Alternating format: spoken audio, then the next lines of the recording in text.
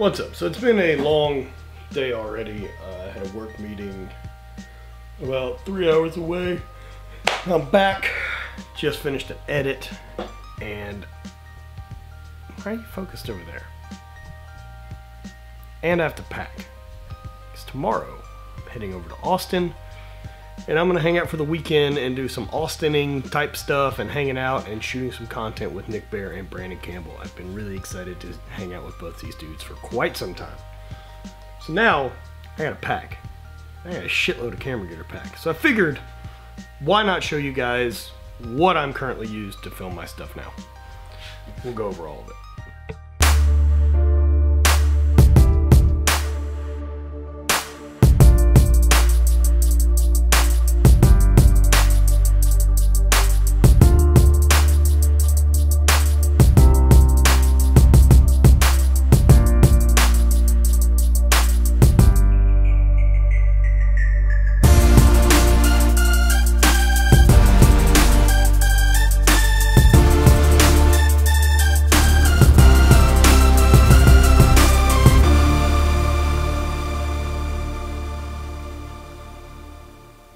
Gonna run through everything that I'm traveling with and my vlog pack that I am shooting with anytime I go shoot. So tomorrow, leaving for Austin, gonna go see Nick, Brandon Campbell, Spencer, Mike Beach, probably some other folks. Should be a pretty good time.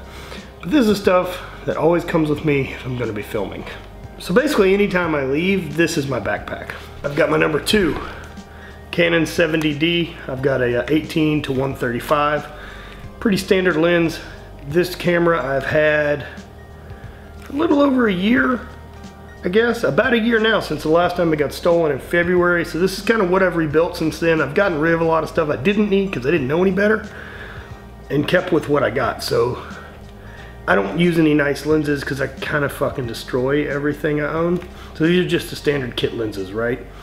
So I've got as I said, the 70D here, everything seems to still work fine. It doesn't have the little plastic cover anymore that goes over the, the eyepiece. That's been long gone. So this is my backup now. This was my main camera for a really long time. I now shoot on the 80D that you guys are looking at right now. I also have another lens. It's the only telephoto lens I got. It's a 55 to 250. Look at that thing get hard. What? Nice, right? Again, super cheap lens. Came with the 80D.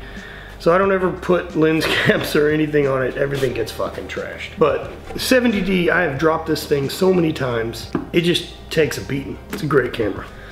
Like every other vlogger on earth, we all learn from the book of Neistat. Joby Gorilla Pod is usually what I'm gonna keep on my camera at all times. Works great for doing a selfie. Works great for quick tripod. Uh, I swapped out the Joby Gorilla Pod heads uh, with the ball head onto all of my tripods so I have the same thing. This is my travel tripod. I like it because I can take off a leg and turn it into a monopod. Really nice. And uh, I think I bought this in California after the other stuff went missing.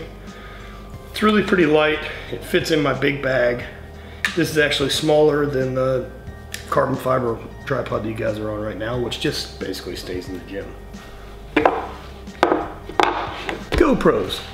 GoPros are awesome. GoPros are an important part of filming now. So I've got a Hero Black, the new Hero Black 5. I really dig. Been really happy with this. I hated the old silver because it didn't have the LCD screen on the back. I know you can add it as an accessory, but I, I don't like fiddling with stuff. I like shit to work. And this one's very intuitive on how to get the picture quality that I want. Battery lasts a long time. I don't have to put a case on it, so the audio is okay if I do need it. Great little camera. I have two sessions. The reason I have two of these is because I thought I lost one, one and two, and uh, now I have two. I found it. Extra batteries. And I bought the GoPro Karma Grip. So now I have at least a little bit of a stabilizer I can use for some different type of shots.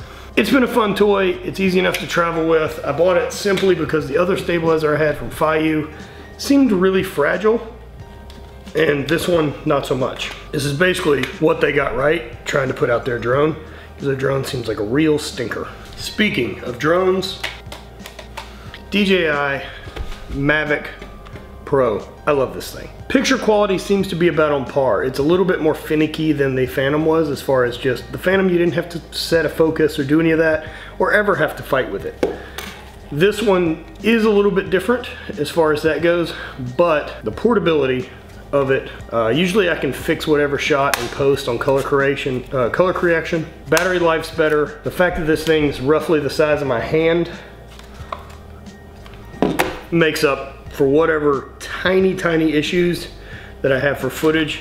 That's a controller awesome. And I carry two extra batteries. I think I had like six batteries for my Phantom and I've never needed more than three. Like three will usually do me a weekend because the drone footage is great. I, I, love it and it's super fun to do, but you can't do much more with it than just B-roll stuff, right? Like you're not gonna get to tell a lot of story.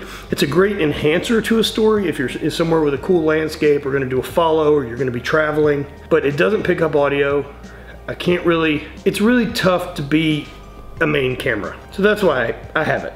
But really great for action stuff, sports, being outside, which I do end up doing a lot of do like a lot of that type of stuff while I'm competing. These are two great toys.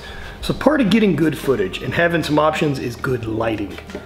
These are two Lume Cubes. I can control them from an app as far as if I need to. They're waterproof, battery life's good, and they're super bright with a white light, like the same ones I use in my garage so that things don't look fucky. Kind of that orange light that's like in my living room. Try to avoid that. Also got a little tripod mount for it that's magnetic so it sticks to anything made of metal. These are awesome, not terribly expensive. Should probably try to figure out maybe a diffuser for one, which would be pretty easy, but all in all, these are great lights. Another backup camera, if I need it, is my uh, EOS M3.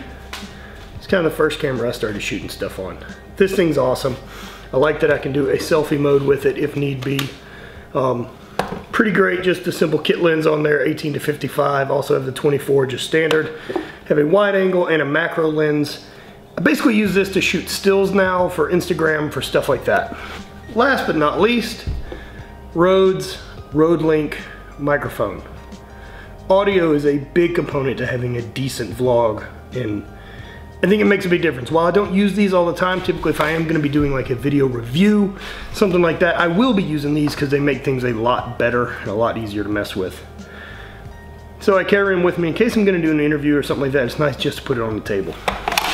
Then I carry a thing of memory cards, a protector for those things, as well as the adapter so that micro SD cards can get into my computer.